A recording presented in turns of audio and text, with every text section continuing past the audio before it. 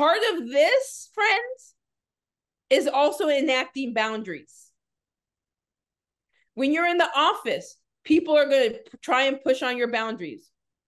I don't understand, Jen, why we can't have this conversation. It's not like it's you, it, right? Like all that stuff. You get to uphold ba- you get to uphold boundaries. Unfortunately, Dave, I'm not going to have that conversation with you because I don't feel like it's appropriate right now. You can do that.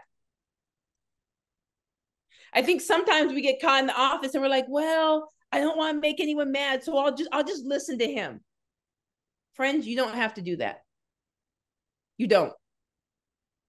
If people are spewing things that you feel are problematic, language, coded stuff, you don't have like you literally don't have to listen. Unfortunately, Jen, I don't like the way I don't like the direction of this conversation. So I just rather not have it right now. You can say those things.